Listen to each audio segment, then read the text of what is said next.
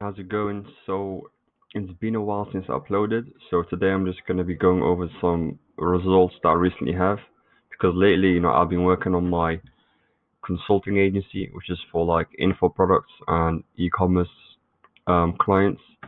So so that's why I haven't really been uploading, but now I'm back again. So I'm I'm planning to make like weekly or bi-weekly videos like this where I just go over like the client campaign, basically my, my results and just go over those results in like videos where I just break it down. I show the ad account, um, I show the ROI and all that stuff, and then I put some tips in it as well on like what I did, and then you can just pretty much just um, take it from there. So this first video is going to be about a affiliate marketing account. So this one did over 100k in like the first month, and you know did more than 10x ROI, and um, and yeah, this is what it looks like. So, so you can see there's more than 800 purchases, um, 17,000 spent, and it's all in three campaigns. So, so you can see obviously it's all very concentrated on the cost per result, which like our goal for this one was like twenty dollars, and you can see it stayed at you know $20, 21 dollars, which is perfect. Um, and then it's all within three campaigns as well you know, and because a lot of people when they run ad accounts, they have like a hundred different campaigns, you know, all bring like little results each. But um, you know, especially with this one, I wanted to have it. and what I do with all my accounts is, even if I'm spending like a thousand a day or two thousand, I have them all in like one to three campaigns, and it's all running through there. So there's no like, it's not like I can literally click through click through the ad set and just know exactly what's working and what's not working. So there's no there's no there's no real confusion. And here are some takeaways by the way what I changed because like because this person was already running ads beforehand, and um you know came to me and then wanted me to do the ads for him. So you know he was already doing ads, he was already making money and all that stuff, but the CPA was going too high, and it was kind of unstructured as well.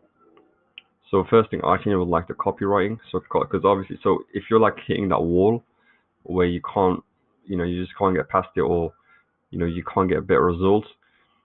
Um, these are probably the few things you probably have to change. So it's usually like the copy, creatives, um, maybe targeting is a bit too, um, like you, you know, you have to start expanding. So if you if you're only using one audience and you know you've only been running that one audience for a long time you know it becomes time to basically because here he was pretty much only like he was rinsing like two audiences for a long time. So it was clear to me like all right he needs way more audiences. Like i have a whole spreadsheet what i do for like my and my clients. I have like a whole spreadsheet like full of audiences. So you know so most people they just do like one or two. I'll have like hundreds just ready to go so I pretty much test them one at a time, just keep going one at a time, and then you know you just never run out of audiences. You shouldn't. You should always have like you should always have like you know boatloads of them just coming through ready ready to be to get tested. You should never. You should pretty much never run out of audiences. It's impossible. And um, so yeah, so copywriting is definitely so if you're hitting that ceiling, you probably have to start writing a different copy hitting that ceiling again, you're probably have to start, you know, creatives. Gonna have to start testing new creatives. You should always be testing anyway. But you know, if you've just been running one similar one for long, you've just been duplicating, um, then it's time to do this. Like I say, with targeting, if you just had that one amazing audience and you just keep you kept spending there, um, now it's time to basically, you know, create that spreadsheet of audiences and basically start testing new ones because at the end of the day, you know, you need a lot more. Like, let's say your audience has a million people, there's like you can only run that for so long before it like it runs out. So you can maybe hit, scale it to a thousand dollars a day, but it's only going to be there for so long before it's like, you know, before Facebook decides that, um, you know, that's it. This audience is it's not going to convert anymore. Like you need new audiences. Like there's hundreds of millions of people on Facebook. So if you just stick to one like one audience, it's going to be hard for you to keep going. And um, lastly, the structure. So even if you do have that audience and all that stuff, or maybe you are testing audiences and it's all over the place. Maybe you have like 20 audiences in 20 different campaigns with five random ads and all that stuff. Now it's time for you to pretty much have that structure going. So you need to have like, I recommend, I mean, if you're spending like, um, let's say 10,000 up to 10,000 a day, you can definitely do it in about three campaigns easily. So in about three to four campaigns. Now I only run CBOs by the way, so that's um, that's known as campaign budget optimization. I only run CBOs. I don't run anything else anymore. I, I used to, but now I've stopped. So now, so I, I recommend the same. Now with CBOs, there's a different kind of structure you have to use because it's a, it's a bit different because um, you know you you have to because you know it spreads the budget across all the ad sets. So you have to have a certain number of ad sets. You because there's a few things you have to look at when it comes to CBOs, and that is how many people in the audience. So do you have is there is there a million people? Is there half a million? And then from there you want to look at all right, what's your target CPA? And then based on those numbers, you can figure out how many ad sets you can have, um, how many ads you have, and then what the daily budget is. Okay, so that's why CBOs are different. And I might I might make a video on that soon, just covering how to how I structure CBOs because it is different. Um, it can't just be random. If you just put random stuff in there, it's probably gonna, it's not going to work.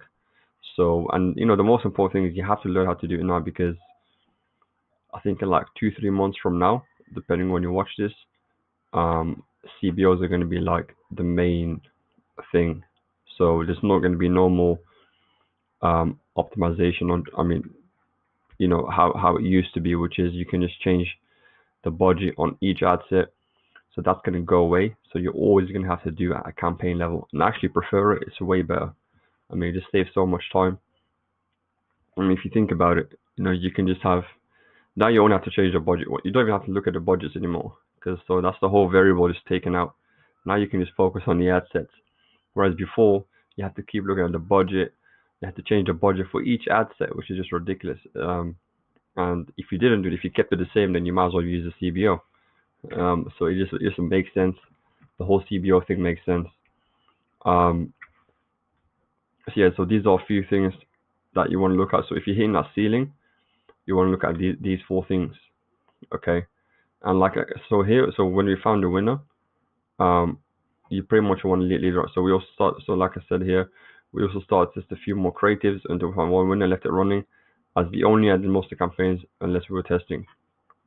So, you know, after some time, I found a winner. And when you find a winner, that's when you want to start testing combinations. Okay, so you, you want to combine creative with audience. Combine that creative with different copy, copy with different headlines, different texts. So you, you just want to start hitting different combinations. So even if you have a winner, you should always hit, hit those combinations. And then account structure, like we said, the way I like to do is I will have like one lookalike campaign, um, excuse me, one testing campaign, and one um, retargeting campaign. So those are three. So once you hit like 5,000 a day or more, then you can start splitting into different ad accounts. That, that's when you want to start opening more ad accounts. Um, when you hit about 5,000 a day, something like that. Um, you want to start opening different ad accounts and then have one for each one. But until you're at that point, um, just have three campaigns. If you do more than that, you just you're just gonna get confused, especially if you're not spending that much. So if you're spending like crazy amounts of money, like twenty like twenty thousand a day, then you're not fair enough. You, make some more campaigns. But if you're not, then um, you definitely don't need to. Like I said, you definitely do not need to do that. Um, you know, three. This is how all my ad accounts look like, by the way. I'm gonna make more videos like this, going over all the ad accounts. I have many more to come. This is just the first one, and they all look like this, which is like two, three campaigns with like hundreds and hundreds of purchases each, um, and that's it. It's just so simple. It's just like 500 purchases, whatever, twenty thousand dollars spent, and here's the ROI. It's like it's very simple. It's not like like I can show you these three. It's, it's like I can just show you them. I think I can't go into the ad account itself because it just shows all the information. It shows the ad account name the ad set, name. you it basically just exposes the whole client, so I can't go into it. But that's why I just put a screenshot. But anyway, if you go any, by the way, uh, bef- uh, before I end this video, I'm gonna put a link below. So I know some of you might want to learn more about, um, you know, how I get results from my clients. And if you want to watch like a case study video, going into more detail, um, then I'm gonna put that in the comment section below. And it also the video also explains. So the video goes into like a case study of my other client results, and then it also explains how you can work with me. So the two ways you can work with me, and then if you're interested in those those two ways, you can like book a call. If you like like a tiny a small application and then you book a call. So if you want to watch that video, I'm gonna put a link to it below. So it's like um, a case study video. You can watch that, and um, and yeah, and if you've got any questions, you can leave in the comments. I'll get back to you. And um, yeah, so speak soon. Bye bye.